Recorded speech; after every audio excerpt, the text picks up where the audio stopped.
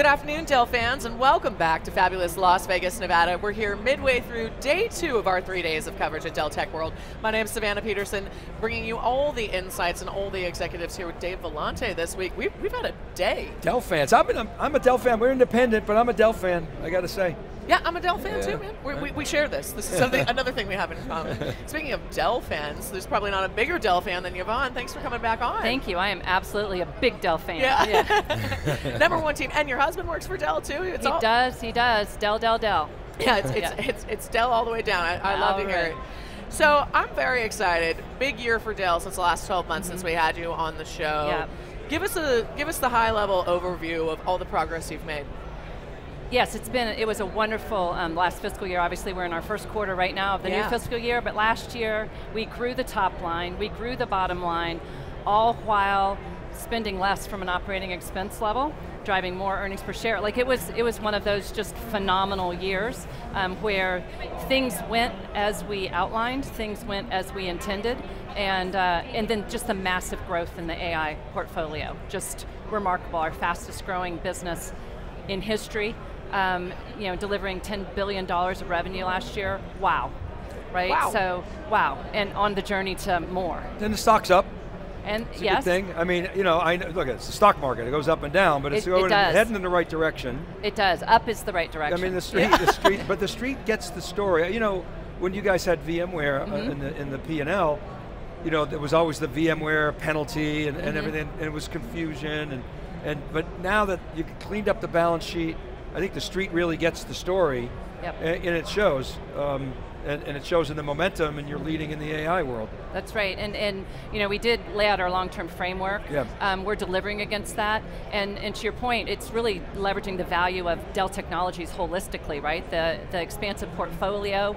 It's it's more than you know we. I feel like historically, because I've been at the company for a long time, there was a period where we didn't get credit for the expansive portfolio that we have, and now we're seeing the benefit of it, right? From you know AI, we spend a lot of time talking about AI um, and technology there, but it's the entire portfolio, and that's what makes it so so exciting to me. It's the AI. You're generating all this data, has to be stored somewhere. We have storage, and then follow that through with you got to take advantage of it. You need a device, right? And you have mm. you have mm-hmm. lovely devices in front of you um, to uh, to leverage that, right? To drive that productivity. That ecosystem. You're hitting on ecosystem. it. I yeah. feel like folks are waking up to it's going to take more than just one piece, one gadget, one product line. It's That's this right. holistic ecosystem and all the partners that you have. Something that you said last year that really uh -huh. impressed me, Yvonne, was that you were not concerned about the risk of velocity. We're moving at an even faster velocity mm -hmm. than mm-hmm. we were last year. How do you mitigate that concern? There's concerns about cost, but you're saying that you kept costs down. Mm -hmm. Talk to me about what you're doing to make that so successful. I, I think as, as we evaluate, you know, where, where do we spend money? We're still investing, right? And But we're running a program called Modern Dell, and one of the um, key um, focuses there is, is um, simplify, standardize, and automate, right? And so it's like, hey, do I still need to do this work any longer? Yes or no? If yes, then how do I standardize it and then automate it, right? And so it's been, it's just been, it's permission to do things differently. And you know, the entire company, it doesn't matter whether you're in finance or um, on engineering, right? We, we, yeah. um, we talk about our XE9680 or an XE that took about three years to develop and, and then the follow-on product nine months to develop. I mean, that's when, that's really when my brain clicked and I went, oh my goodness, AI is a game changer. And so, again, if it can help us bring better product to market faster, what, what else can we do um, and leverage? And I love the leaning in and being open to doing things differently. I'm definitely struck by, just in speaking to you and listening to some of the conversations, and how deliberate and fast you guys were in mm -hmm. terms mm-hmm. of attacking the opportunity, mm -hmm. especially yeah, in great finance. Point, and really so, great point. Like, I wonder if you could take us back? What was the catalyst? Was it, I'm sure the benevolent dictator had something to do with it, um, but what was that like? And, and, it's like Dell has completely focused both internally and externally. You shared with us in mm -hmm. the mm-hmm. analyst roundtable mm -hmm. many of the things that you've been doing mm -hmm. to uh, to simplify, standardize, and automate. Right. What was the point at which that started, and, and what does that journey look like? Well, you know, it really it really started with with Michael and Jeff, um, and really them saying, "Hey, this is how we're going to move forward, and and you need to." Um, be thinking differently and approaching things differently. And you know, I still, yeah, obviously I'm the CFO. I want to make sure we have a control and controlled environment, and that the validity of the financial statements can be asserted. All of that, but I love that we can do things differently now. And so it's really, it is. It's just they're very flexible. Should you still be doing that? Um, and and they're open to change also, right? And so that change um, environment starts at the top, and um, and is I don't know. It's exciting. Well, it's clearly a part of your culture. I mean, you Yeah. hear it across the board. You talked about this with us last year as well. You know, I remember Michael even saying, "What, what are we going to do? What company would disrupt us five years from now?" That's right. And that sort of psychology changes the way that you innovate. Where are some of the areas within your team specifically where you've seen the most value created? Well, I, I think um, as, as I look in my team, I, I give examples about you know auto reconciliations, right? A- anomaly detection. So embedding AI within the, the CFO organization really is helping us be more effective and more efficient. Um, and I think you know one of the examples I give, which everyone really appreciates, is about internal audit. So I can generate. I I have um, AI helping me um, write reports now for audit. People want faster audit reports, right? Internal audit reports. Um, but again, it's that anomaly detection. How can I be the most Yeah. efficient um, at that process? Because it's very critical to you know uh, our our continued success. But we want to do it faster and, and get resolution. And if I don't d- detect anything, then we move forward, right? Right. And so it's it's um it's it's fabulous, and everyone is thinking differently about how we approach the business and drive the outcomes that we're looking for. But, but it's not like you, uh, tell, correct me if I'm wrong, we had a chief, chief, you have a chief AI officer. We Jeff, do. Jeff and then now uh, uh, John. Uh-huh. But it's not like, maybe it is. Are they the chief change management officer? I, don't think so. I think it was really the individual units that actually bought in. I guess they had no choice but to buy in, but I, I'm, I'm curious because there's change management's hard. It and, is. and you have inertia. People do things the same way because that's how they've always Mm-hmm. done them. They're comfortable with that. They pave the cow path, I sometimes say, Yeah. which is disaster in, Yeah. in this world. You're just throwing money away. That's I- right. I, I'm curious as to the cultural um, uh, uh, techniques or approaches that you used. Well, it, it's definitely um, starts at the top, right? With with Michael, with Jeff. Um, but it but again, it's it's you know having the you know the, the finance person being open to change, right? Yeah. And I need to operate in a controlled environment, but I don't have to do it the same way I did it 27 years ago. Um, I can do it differently. And so, just getting those those different ideas, having my team members share with each other how they're doing things differently, how they're automating things, how they're standardizing things. It's just, I don't know. It's it's empowering. So did you go to a Woods meeting and just get a whiteboard? Like, how did you We- make it happen? Well, every, everyone takes a little bit different approach. So we're doing, yes, we've done some of that. Um, we've done it online. We, we are sharing those ideas um, with, the, with the team so that they can go, oh my gosh, uh, okay, that doesn't apply to me, but I can see how I could use that technology to do what I'm doing differently. You're able And to so- cross pollinate that. Cross pollinate that Yeah. and say, hey, change is okay, and will we be perfect? No. Have we ever been perfect? No. Um, but moving forward, makes you have to take um, thoughtful risk in the process. And so, you know, I would, I, and I say that, you know, as as this as the CFO, right, where we're taking thoughtful risk, and and but you know, I, I do understand um, the important role that me and my team play. It's Um, so refreshing to hear you talk about that. Did yeah, you? ahead, Did you? I, I'm just fascinated by this. and I'm- Yeah. I'm, trying to. I'm trying to pick at the secret sauce. Did you lay out like a north star? This is where we're headed, and then work back from there. And that must have been somewhat hard because you don't know what the AI is capable of doing. Or did you more say, hey, let's just dig into the processes and think about how we could do this better? I would say we really started with the processes, with the foundational element, um, because AI continues to evolve. And you've heard our priorities on AI, right? Around engineering, around sales, around services, Yep. around global operations. You, you never hear anyone talk about finance being one of the top four priorities, but we can leverage that technology too. And so trying to enable that but I, I really have so much to clean up, I would say, because we've never, you know, when I think of I've been at the company a long time, when I think of how we finish things, we move on to the next engineering thing or the next sales thing. And what we're doing differently this time is it's an all play. It's, a, it's vertical and horizontal, and that, to me and to my team, it's different and it's exciting. The whole it house. is exciting. Yeah. Well, and, and, and we're stronger together in that We- sense. You're bringing yeah. everybody along for the ride That's rather right. than this feeling like this trickle down. I'm This- sure you have members of your team. This is an all play. Yeah. This is an all play, It's- and and it, and it feels different. Yeah. And we're driving really great outcomes as a result. So it does feel different. I'm really curious, since the, the landscape of your entire industry in the mm-hmm. financial world is changing a lot right now, what's your advice to a young financial professional who wants to make sure they're uh, at least in step with this technological revolution?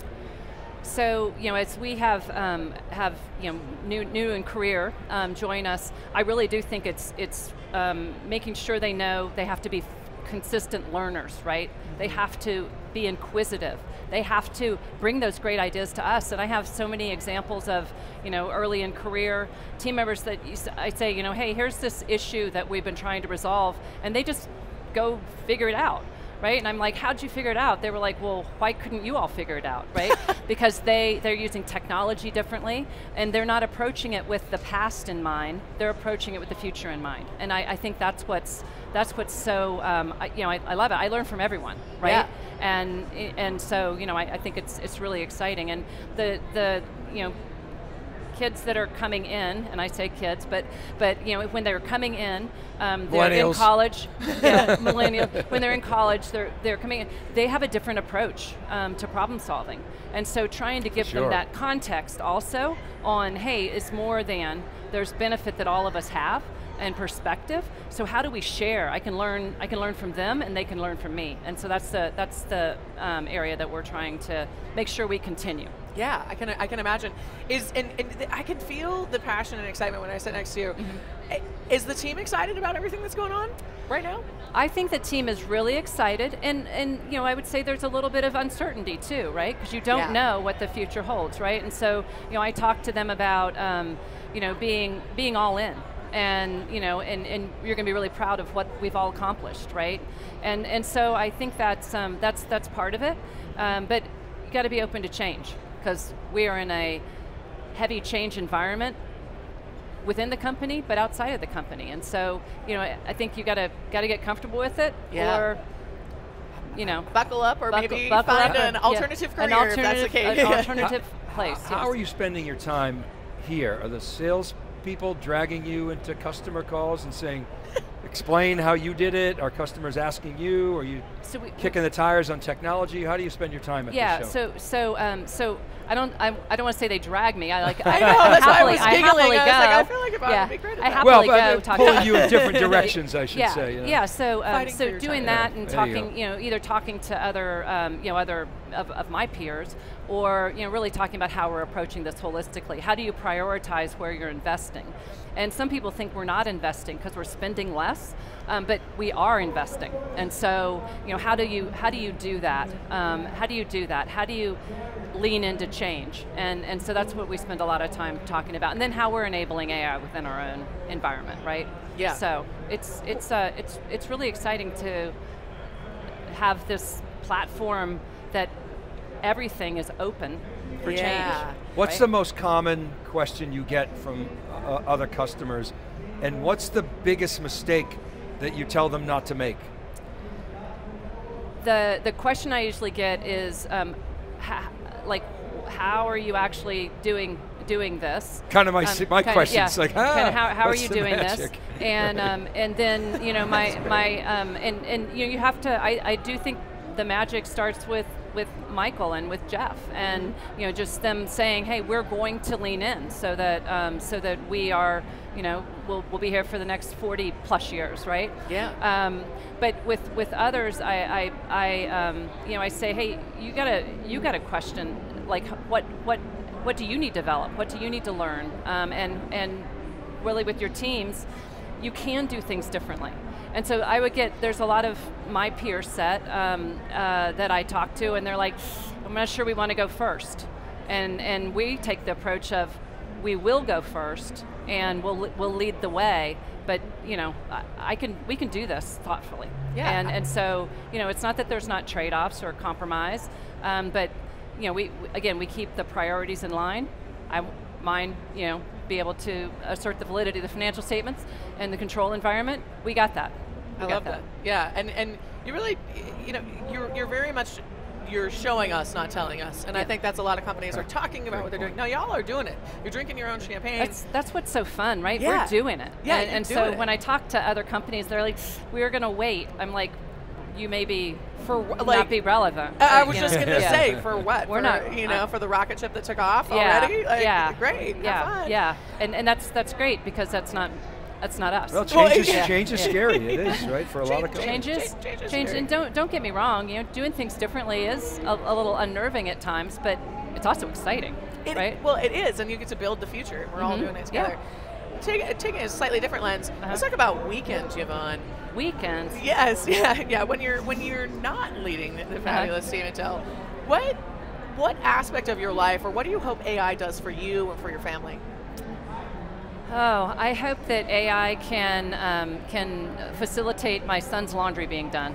Um, I'm here would for be that. Great. Yeah. Um, Oh, no, my. I, uh, I, um, I think just that you know um, being able to be more predictive and, and really s- serving, right? Yeah. And so, and I, I need to make an investment in making that happen, right? Um, uh, uh, making sure AI is, is, is doing what I, I want it to do at, at home. But you know, I think that um, just again being open to being open to change, right? And um, you know, I I, um, I teach Sunday school. Um, I teach second third grade Sunday school um, every, every Sunday, right? And I, I love doing that. But we're talking to them, you know, talking to the kids about AI, about technology. And you know, it's not At like Sunday school? It's Sunday school because they're What? into technology, right? And I this. learned from them like different different ways to approach things, right? And they'll be like, well, you know, and, and show me and it's like so cool, right? They so they keep oh, you real, so cool. right? They keep you real and uh, and challenge you at the same time. And so I think that's part of that's part of what I love. You know, do I know exactly what their jobs will look like when they're adults? No, none of us can say that. None of us do. But I want I want them to be open to learning and, and everything, right? And then inspiring others, right? And so I don't know, it's a lot of fun. Cool. And, well, Keeps and- you real. And that I, I love that, Yeah. and it, and, it, and it's it's fostering a culture, perhaps a, a, a generation Mm-hmm. of curiosity That's right. in a way where you know we think of standardized learning or the way that Yeah. we were i- inputting information traditionally versus now. I mean, like you said, they're showing you things, they're playing with it, they'll troubleshoot it. We were we were I was the YouTube University generation, and now this Uh-huh. is like the AI It is GPT University. It is remarkable. Yeah. Right. And and I you know again I learned from them. Ideally, they learn from me too. Yeah. Um, but I'm uh, sure they do, But but uh, but but again, I just love the way they're approaching things differently. And Yeah. they'll be like, "What job should I have when I grow up?" And I'm like. I don't know. Be open to change. Be open to learn, con- constant learning, and you know, technology is Here to stay. here to stay, and it's your friend. So, Yes, So- it is your friend, and it's Yeah. a great tool. All right, since you did a good job of answering this last year, I got to close us Uh-oh. out with our annual question so we can look at it when we are at Dell Tech World next year. when we're hanging out in 2026, this time next year, Mm-hmm. what do you hope to be able to say then that you can't yet say today? Um, next year, I'm going to say what a remarkable um, FY26 that we had, right? So I'm going to talk about the results for the year. I'm going to talk about the continued innovation that we've driven um, through the company. Um, through all aspects of the company, and you know we're going to be on the journey to, to more growth and more profitability, right? So I'm super excited about that, and going to be able to give even more examples of how you know within my own organization or within the broader company how we're doing things differently, right? Because Yeah. that's what we're about. And will we be perfect? Of course not. Um, but that's part of the fun. That's part of the journey, right? Is learning and changing and course correcting. Um, we got to go fast, and so you know that's that's why I love being at Dell, right? Yeah. Because we go, we're moving forward and we're moving fast. I love it. Well, and we looking love, forward to uh, earnings next Thursday, right? Next Thursday, Great. yep, next Thursday We'll after be close listening. of business, and Awesome. uh, I'm looking forward to it also. Um, So, Awesome. All right, We love it, Yvonne. Thank you so much. thank this you so much. Such a treat. I really appreciate And it. thank you, Dave. This was a fun one. You've got Yeah. your you've got your little boy smile on right now. I can tell you're having fun. No, this is this is Dave's fun face. Day two is always Yeah, fun. yeah. Uh, Product day. yes. And I hope you're all having as much fun as we're having here in Las Vegas, Nevada at Dell Tech World. My name's Savannah Peterson. You're watching theCUBE, the leading source for enterprise tech news.